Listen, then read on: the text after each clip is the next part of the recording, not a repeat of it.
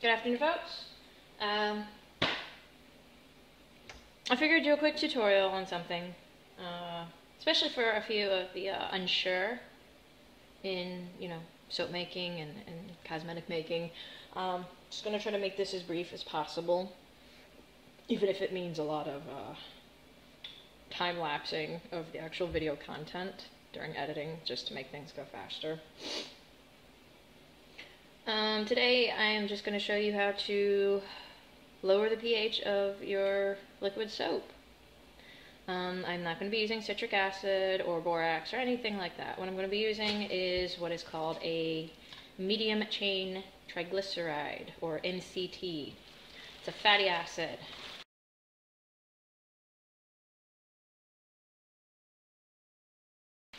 This is primarily lauric acid, and I'm sorry if this is in reverse.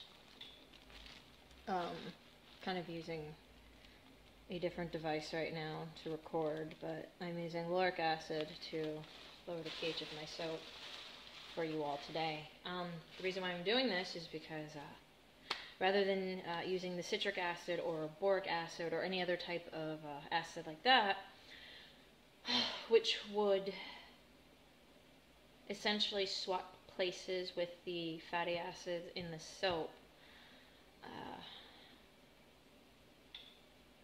I guess double back and describe how this would work. Uh, if you use a typically citric acid, um, the typical common knowledge is using the citric acid causes soap to turn into goop because it releases the fatty acids and therefore the citric acid will bond with the hydroxide, be it the potassium hydroxide or the sodium hydroxide.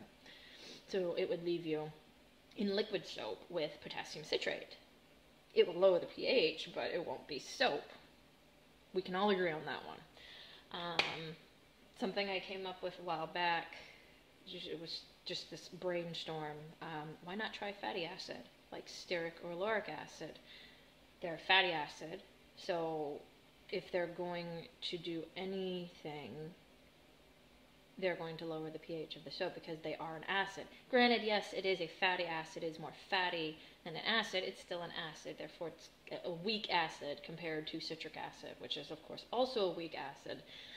I'm babbling, getting on with the chemistry craziness, but that's how those work. Um, the fatty acid in this process will, if it does swap places with the fatty acids used to make the soap, you're still swapping fatty acids. Soap makes soap, or fatty acids still make soap when it's combined with the hydroxide that's in the formula. Uh, so regardless of whether it's stearic or lauric, if it swaps places with the other lauric acids in your soap, or the oleic, or the myristic, or whatever the fatty acids are that comprise your oils that make your soap, it's still fatty acid with fatty acid.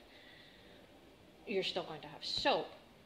So the main goal is to see if this will lower the pH of the soap. Uh, I've done this before, and it was a little bit on the sloppy side uh, because it was in combination with a citric acid, and some people were still kind of confused. But so I'm going to go ahead and just do this straight up by itself, clarify some issues, and let you all see that it, it is actually a pretty cool thing to do.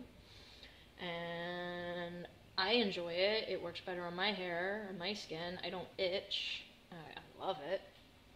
My kids like it. My kids don't complain. Um, not that they're allowed to, but anyways.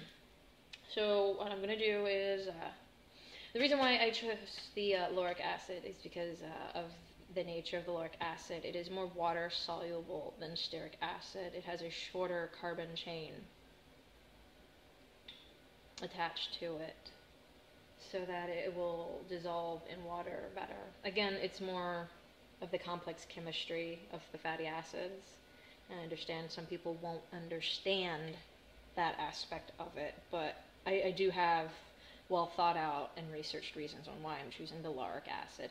In the end, it'll probably help me use a solubilizer later on should I choose to want to make the super fatted pH neutral acidified soap, uh, a completely clear solution, um, like I have here. Uh, this is uh, actually the glycerin method soap.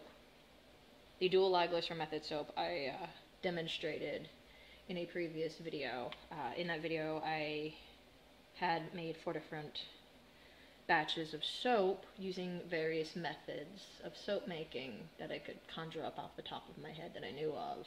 I mean, I know there are plenty other methods out there, but those are the few I wanted to demonstrate. And my favorite being glycerin method. Um, produces a beautiful clear solution. Uh, it's a little bit, wee bit more viscous than water-based soaps. Uh, it, it, comes to trace better. It's just a whole lot of different benefits that I think it, it's worth the extra cost of purchasing the glycerin for. Um, but we're going to use that. Um, this is a, a coconut oil based soap. I used uh, just coconut oil to, to make this one. Uh, it's, it's a simple oil to work with, and I had plenty of it on hand. Plus, I needed to make laundry detergent, so I figured I'd just be consistent and use coconut oil for, for all the batches. Anyways, so I'm going to go ahead, weigh everything out. I've got my double boil over here to heat everything up and melt it and, and whatnot. Got my pH meter right here. I already calibrated it. So hopefully uh, this will still turn out the way it always does. I mean, hopefully no goofs. Honestly, I don't think there will be any goofs. I've done this many times and never had an issue. So here we go.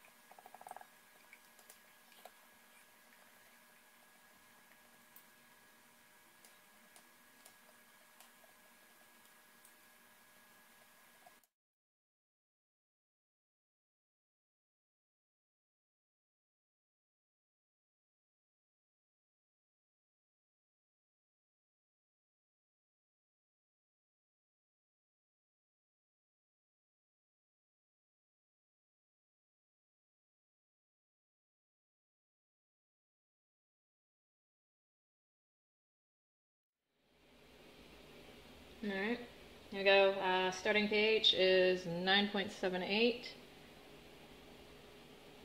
Don't know if you can see it. Hold on, I'll go ahead and hit the hold button. Way I can take it out. There we go.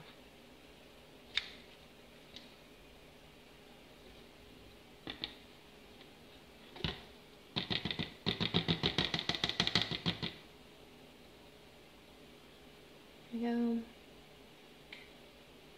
9.78. And go ahead, rinse this off real quick.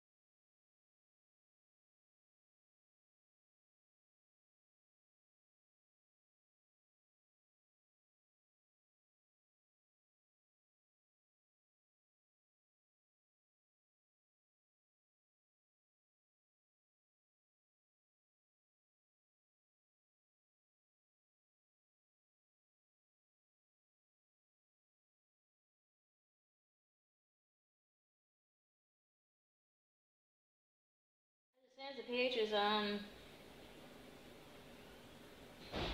8.36 and it's still going down.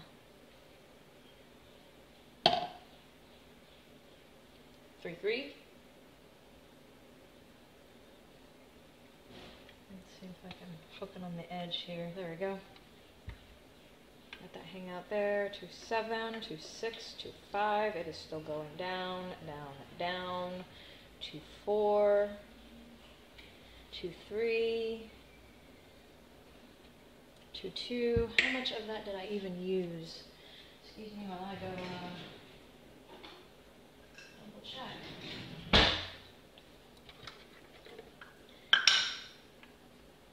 Eight point one nine.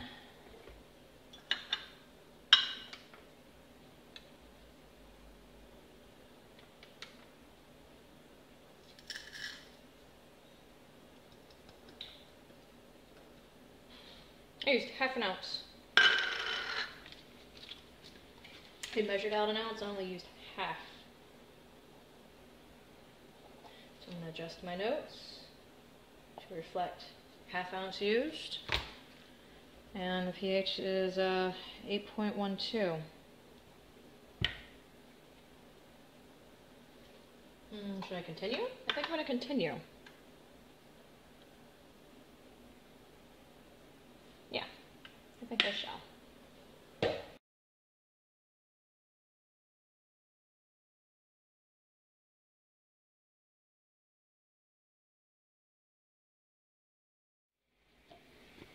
I might add just another quarter of an ounce of this. There we go. I'm going to go ahead and measure out another quarter ounce of the lauric.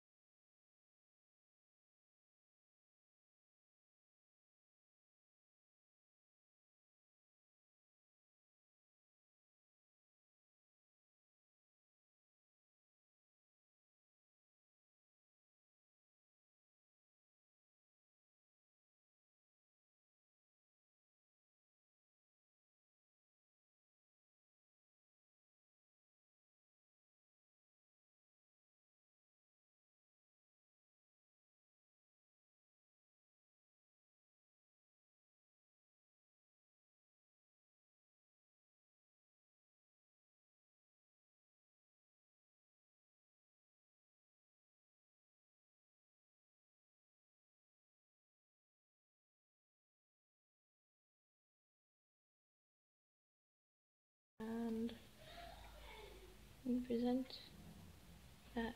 I Hope you can see it. I'm doing the best to kind of move it around a little depending on how the light hits it.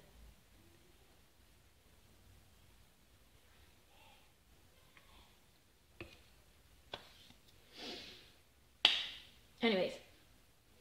Oh, wait, you know what? I am completely forgetting. Why don't I go ahead and do a hand wash test while I'm at it? Just so you guys can kind of see how that looks too.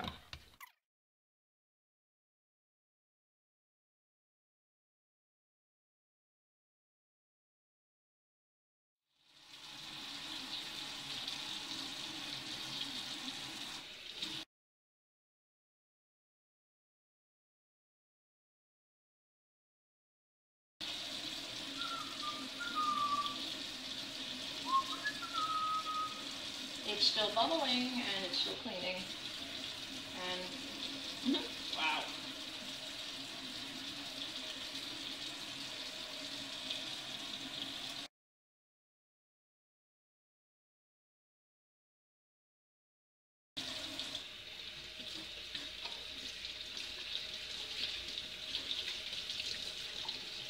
Now I gotta wash this goop off my hands.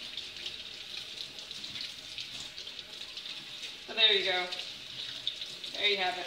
That's how you lower the pH in your soap, in your liquid soap. It's literally like working with any other additive uh, in soap making. Um, when you work on your your calculators, whatever uh, calc you decide to use, please, please, please, please do not include this in your your soap calc calculations or whatever calculator you choose to use.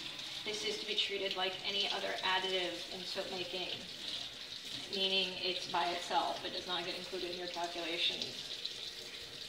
Otherwise, it's not going to work. It's just going to turn into soap, which defeats the purpose of you know lowering the pH. Um, trying to make sure I have everything covered. Guess we'll go, step, go over step by step again. So essentially, you just heat up your soap, you dissolve your lauric acid or your stearic acid in your soap so it can melt, and you stir, and you take your pH. Make sure you have a meter. That way you have, you know, the absolute, uncertain, accurate result. And have fun with it. Different, so the amounts are required are going to be different for each one as well. So, wow, I do have it written down as to what I need for this particular batch of soap, and I'll hold on to it for next time. Uh, this may not apply to any other batches. I'm going to swing this back around. Ah, huzzah. Back to my workspace.